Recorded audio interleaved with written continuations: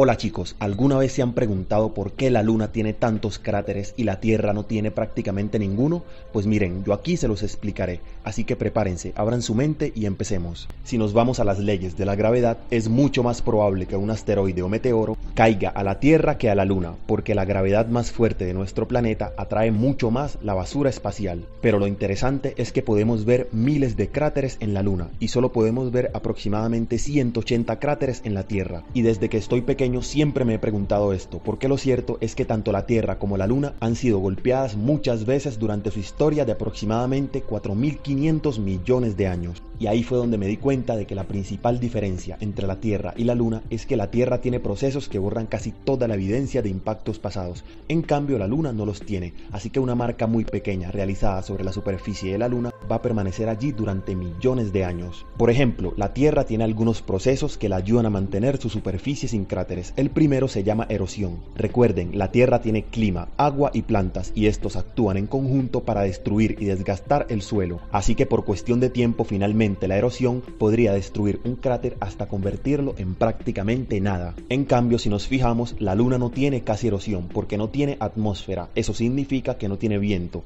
no tiene clima y tampoco tiene plantas. Así que en la Luna no existe nada que pueda eliminar las marcas en su superficie una vez han sido hechas. Así que las pisadas llenas de polvo de los astronautas que una vez caminaron sobre la Luna están todavía allí y permanecerán durante muchos millones de años. La segunda cosa que ayuda a que los cráteres se borren de la superficie terrestre es algo llamado tectónica. Y la tectónica es un proceso que hace que la superficie de nuestro planeta forme todo el tiempo nuevas rocas. Este proceso hace que nuestro planeta se libere de rocas viejas y estas rocas se desplacen durante millones de años. Así que debido a la tectónica la superficie terrestre se recicla muchas veces durante su larga historia. Y como resultado, muy pocas rocas en nuestro planeta son tan viejas como las rocas en la Luna, porque la Luna no ha tenido tectónica durante miles de millones de años y eso es demasiado tiempo para que los cráteres se formen y permanezcan allí.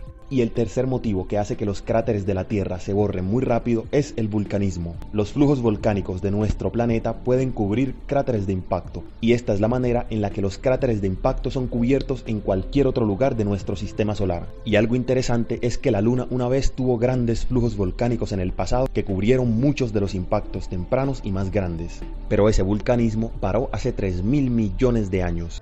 Así que chicos, aquí tienen la explicación. Espero que la hayan entendido y que les haya gustado. Y recuerda, puedes darle like y suscribirte. Subo videos todos los días. Hasta pronto.